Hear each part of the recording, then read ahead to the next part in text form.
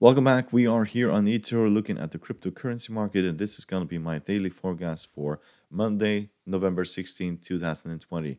If you like to support our channel, you're welcome to hit the subscribe button down here in the corner, hit the like button and the bell button to see our newest videos. We also have a signal service over at Patreon, and if you want to see our full uh, full technical analysis of the commodities market, you're welcome to join us over there for only $10 a month. And it is also refundable if you uh, want to leave. So let's look at the cryptocurrency market, and we'll start by looking at the at Bitcoin. As you can see, I this was basically what I was expecting. We were significantly overbought, and on Friday session we broke down quite a lot. At this moment, technical indicators for Bitcoin are moving in the bearish direction. So we most likely will see a pullback towards the 15,000 uh, price range, and then we'll head towards the 13,800.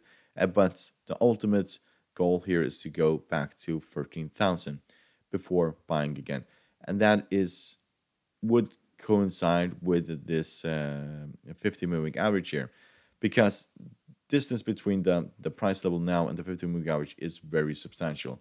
It is significant, and and um, because we're overbought, we it is impossible to just buy at this uh, this price range at this moment. We need a pullback towards the 50 moving average in order to enter this market. However, how far we go, that is to be seen. I would expect this area here of 14,000 and so on also to be fairly uh, supportive. So we'll see how far it goes. But a move towards the 50 moving average as low as possible is basically a buy-in for this market. So if you look at Ethereum, we did also pull back a little bit um, on the Friday session. At this point, it looks like momentum is basically stalling and that we're going to go back towards the 50 moving average. So if you look at technical indicators, they're all looking very, very bearish at this point. So expect a pullback towards the 50 moving average. Um, and that is basically a buying opportunity. We're still in an uptrend. So we just look out and look at this trend here we're still trending upwards.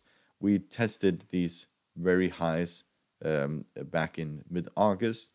We got basically here. We could almost be saying that it is a, it's a double top, but but but that doesn't really matter at this point because we are in uptrend and what we're looking for is basically a pullback towards the 50 moving average in order to buy in and get it higher.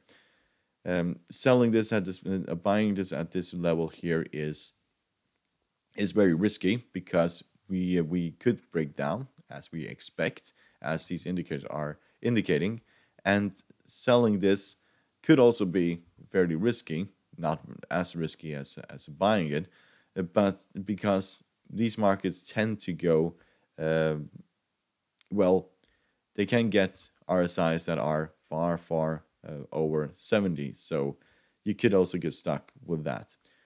So, but at this point, a pullback towards the 50 moving average is basically what we are waiting for. So hope you find this video helpful. You're welcome to support the channel by subscribing, hit the bell button and the like button in order to see our newest videos, and you're welcome to join us over at Patreon. So good luck and thank you very much.